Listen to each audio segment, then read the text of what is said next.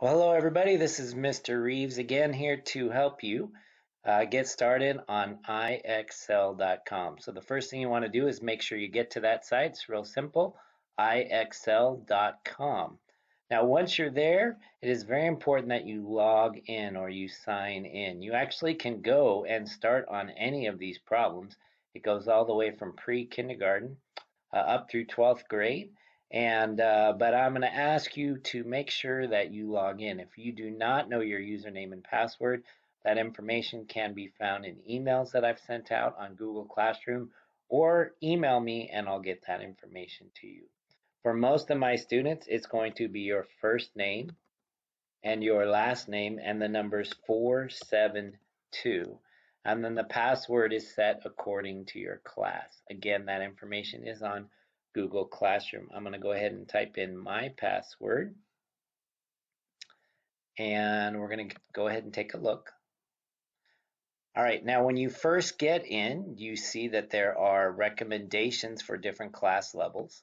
There are skills that have been suggested by me, uh, but where I want you to start off is right here where it says diagnostic. So you click on that diagnostic and then up pops something that says step into the arena. And this is how you start the diagnostic test. So go ahead and click on step into the arena. All right, and then you're ready to start. And it says choose a question. All right, so let's see here. One, two, three, four. I'm going to go ahead and do this one. Four times five is 20. Awesome. Look at that. Now we're ready for the next one. Which number is greater, 7.48 or 7.42?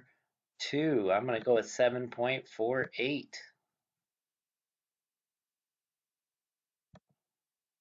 I went with 7.48. I'm trying to submit it. Oh, it says to graph it on the number line. Oh, it helps if you read the questions carefully.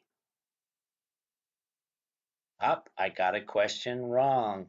And so it took me back.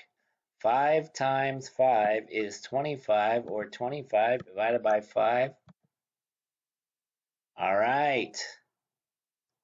Now I'm moving on, and so on and so forth.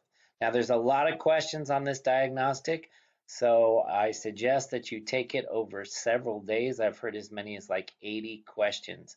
Um, the more questions you get right, the faster it will go. The more questions you get wrong, the slower that it will go. So that's what gets you started. And after you finish that diagnostic test, it will have some recommendations for you so you can fill in those gaps in your learning. All right, I hope this helps. Thanks a lot. We'll talk to you later.